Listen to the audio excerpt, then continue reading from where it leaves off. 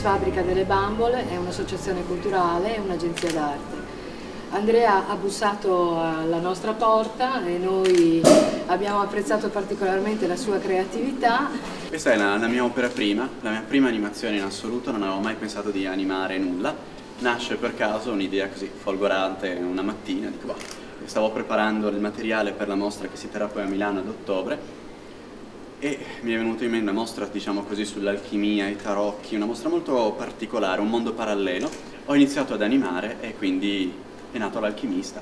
Quindi tutto il lavoro fatto a mano, chine riportate al computer, colorate sempre a mano, chine che ho utilizzato per animare il, il film e che abbiamo sistemato qua come fotogrammi appesi ad asciugare, come le foto, le foto in camera oscura appese con le mollette per aspettare che che asciughino. Noi stiamo aspettando di vedere il film, aspettiamo che, di vedere cosa accadrà dopo, aspettiamo di vedere gli sviluppi di questo tipo di creatività e quindi mi sembrava giusto appenderli e, e vedere che cosa succedeva.